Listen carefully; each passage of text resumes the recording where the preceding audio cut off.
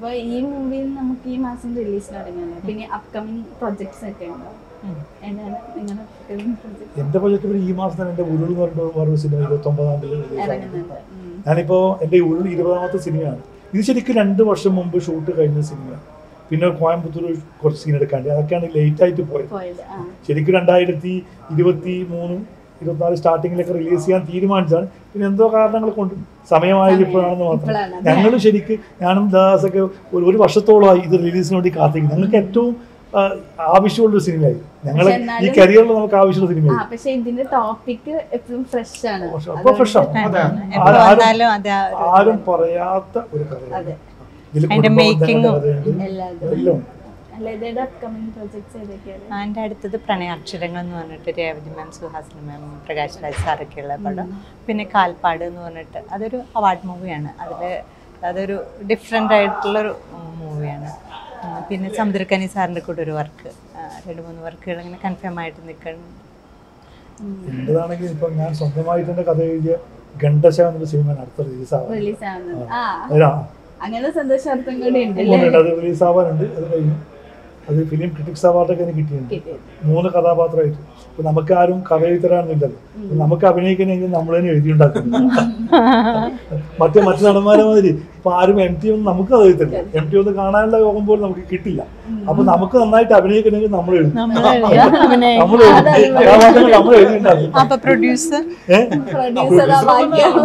അതൊക്കെ നമ്മൾ കണ്ടെത്തും. ആദ്യം ആദ്യം നല്ലൊരു കഥയാണ്. അഭിനയിക്കാൻ വേണ്ടത് നല്ലൊരു കഥയാണ്. നമുക്ക് നമുക്ക് ആട് ജീവിതത്തിലെ ബെന്യാമോ അതൊന്നും അവരൊന്നും നമുക്ക് അത് എഴുതില്ല അപ്പൊ നമുക്ക് അഭിനയിക്കണം എന്ത് ചെയ്യണം? നമ്മൾ അപ്പൊ നമ്മൾ ഞാനങ്ങനെ ഞാൻ തന്നെ ഇരുന്ന് കഥയും തിരക്കഥ ഒരു സിനിമ. കിട്ടിക്സ് അവാർഡ് വരെ കിട്ടിയില്ല അപ്പുറത്തേക്ക് കിട്ടിയില്ല. ഇപ്പൊ നാഷണൽ അവാർഡ് വരെ കൊടുത്തിട്ടുണ്ട്. ഇപ്പൊ ഇതും നമ്മൾ സ്റ്റേറ്റ് അവാർഡിനൊക്കെ പോയതാണ് അത് കണ്ടില്ല എന്ന് മാത്രം.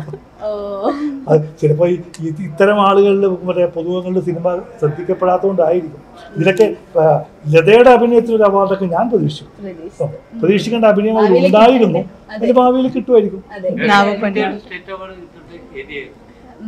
പിന്നെ ഒരുപാട് ചെയ്യാനുള്ളതാണല്ലേ അതെ. കാലുണ്ട്. ഇഷ്ടംപോലെ സമയമുണ്ട്. ഇപ്പൊ രമേശ് ചേട്ടൻ ഞാനിപ്പോ കോൺസ്റ്റബിൾ മഞ്ജു എന്ന് പറഞ്ഞൊരു സീരിയൽ സീരിയൽ ചെയ്തോണ്ടിരിക്കുകയാണ് ഒരു രണ്ടു വർഷമായിട്ട് ഞാൻ ഇങ്ങനെ മീശ. അതിലൊരു അരവിന്ദാക്ഷൻ സാർ എന്ന് പറഞ്ഞ എസ് ഐ ആണ് പാവ എസ് ഐ പാവസായി അങ്ങനെ പോയിക്കൊണ്ടിരിക്കുന്നത് ഈ അടുത്ത് ഇറങ്ങിയത് ഒരു പഴഞ്ചം പ്രണയം എന്ന് പറഞ്ഞ സിനിമ. പിന്നെ ഒരു ഓശാന ഇറങ്ങി.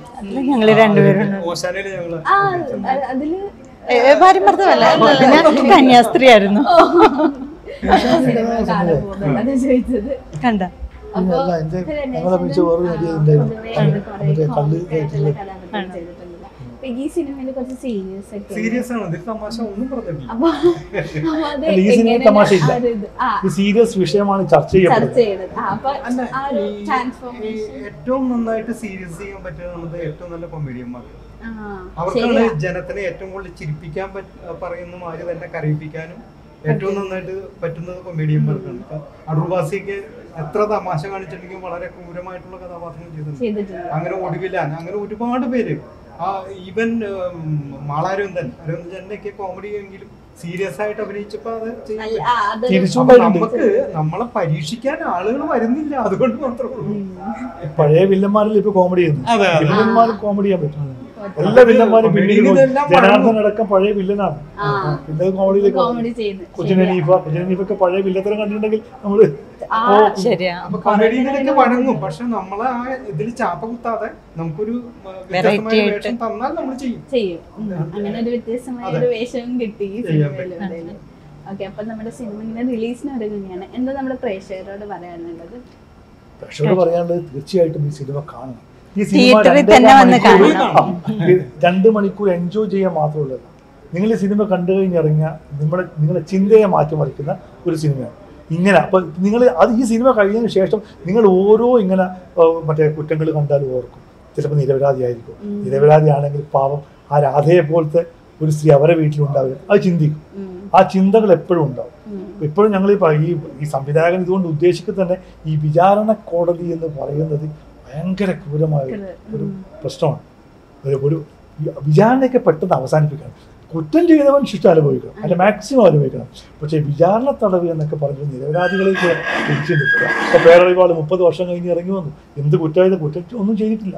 മുപ്പത് വർഷം അദ്ദേഹം കിടന്നു ജയിലിൽ. അപ്പൊ അത്തരം അവരുടെ വീട്ടുകാർ ഇപ്പൊ അദ്ദേഹം കല്യാണം കഴിക്കാതെ പോയതുകൊണ്ട് മക്കളില്ല. ഏഹ് അപ്പം ഈ മക്കളുണ്ടെങ്കിൽ ആ മക്കളെന്താവും? അമ്മ എന്താവും അവരൊക്കെ അവസ്ഥ. ഇത് ഈ സിനിമ കണ്ടാൽ അത് മനസ്സിലായി. പേരറിവാളിലൊക്കെ പേപ്പറിലൂടെ വായിച്ചറിഞ്ഞ ഒരു പേരറിവാൾ എന്നൊരു വ്യക്തി ഉണ്ടായിരുന്നു. മുപ്പത് വർഷം അദ്ദേഹം കിടന്നിരുന്നു എന്ന് മാത്രം പറയുന്നു. പക്ഷേ ഈ സിനിമ കണ്ടാൽ മനസ്സിലാവും ഇങ്ങനെ ഒരാൾ അകപ്പെട്ടു പോയാൽ അതിന്റെ ഒരു ഫാമിലി അനുഭവിക്കുന്ന വിഷമം. പിന്നെ ഒരു അമ്മ എന്ന് പറഞ്ഞാൽ മകനെ രക്ഷിക്കാൻ ഏതറ്റം വരെയും പോകും. ഭാര്യ പോവില്ല. ഭാര്യ വേറെ കല്യാണം രക്ഷി പോകും. ആരായാലും പോകും. പക്ഷെ അമ്മയ്ക്ക് അതിനൊരിക്കലും സാധിക്കില്ല. ആ ഒരു മെസ്സേജ് കൂടെ കൊടുക്കുന്നുണ്ട്. ഒരു മകനൊരു അപകടത്തിൽപ്പെട്ടാൽ ഒരു അമ്മയ്ക്ക് ഏതറ്റം വരെ. പോവും അവിടെയൊക്കെ അമ്മ പോകുമെന്നുള്ള ഇതൊരു മെസ്സേജും കൂടി ഇതിലുണ്ട്. കുറെ നാളുകളായിട്ട് നമുക്കൊരു ഇത് കുടുംബചിത്രം കിട്ടണില്ലല്ലോ. അപ്പൊ എന്തായാലും കാണുന്ന പ്രേക്ഷകർക്ക് ഹാപ്പി ആയിട്ട് പോവാൻ നല്ലൊരു കുടുംബചിത്രമാണത് എല്ലാവരും തിയേറ്ററിൽ തന്നെ വന്ന് കണ്ട് ഞങ്ങളെ സപ്പോർട്ട് ചെയ്യണം അപ്പോൾ അപ്പൊ ഒരു കാര്യം കൂടി ചോദിക്കാനുണ്ട് ഈ ഇപ്പൊ ഈ കുറ്റം അല്ലെങ്കിൽ നിരപരാധി ശിക്ഷിക്കപ്പെടുന്നു അങ്ങനെ ഒരു തീമിൽ സിമിലർ തീമിൽ പോയൊരു സിനി സിനിമയാണ് ജനഗണമന അത് നന്നായിട്ട് ഈ പ്രേക്ഷകരുടെ ഉള്ളിൽ ഏറ്റെടുത്തു. ഏറ്റെടുത്തു. അപ്പൊ നമ്മുടെ ഈ സിനിമയിലും അങ്ങനെ ഏറ്റെടുക്കാൻ മാത്രം എലമെന്റ്സ് അതിന്റെ മറ്റൊരു വേർഷനാണ്. തീർച്ചയായിട്ടും. അത് കുറച്ച് ത്രില്ലിംഗ് വേർഷൻ ആണെങ്കിൽ ഇത് കുറച്ച് ഇമോഷണൽ Emotional. സൈഡാണ് കാണുന്നത്. അത് ശരിക്കും ആ വാദം മാത്രമാണ് നമ്മൾ കാണിക്കുന്നത്. ഇത് അതിന്റെ ജീവിതം കാണിക്കുന്നത് ആ വാദിച്ച ജീവിതം കാണിക്കുന്നത് ഈ സിനിമ ഈ സിനിമയിലാണ് അപ്പൊ- ഈ പറഞ്ഞ പോലെ തന്നെ സിനിമ വൻ വിജയകരമായിട്ട് ആശംസിക്കുന്നു. Thank you so thank you ഞങ്ങൾക്കും പറയാനുള്ളത് ഈ സിനിമ എല്ലാവരും കാണണം. ഞങ്ങളെ പോലെ സി- അഭിനയത്തോട് മോഹമുള്ള ആളുകൾ അഭിനയിച്ചിരുന്ന സിനിമയാണ്. വലിയ ആർട്ടിസ്റ്റുകളില്ല. ആർട്ടിസ്റ്റ് ആവാൻ അഭിനയത്തോട് ആഗ്രഹമുള്ള ആർട്ടിസ്റ്റുകളാണ്. ഇപ്പം ഞങ്ങളെ കൂടെ നിങ്ങൾക്ക് നല്ലൊരു കഥയാണ്. നിങ്ങൾക്ക് ഓർക്കാൻ പറ്റിയൊരു കഥയാണ്. ഒരുപാട് മെസ്സേജ് ഉണ്ട്. അതേപോലെ തന്നെ അത് വിജയിപ്പിച്ച ഞങ്ങൾക്ക് കൂടെ ഒരു എൻട്രിയാണ്. തീർച്ചയായിട്ടും.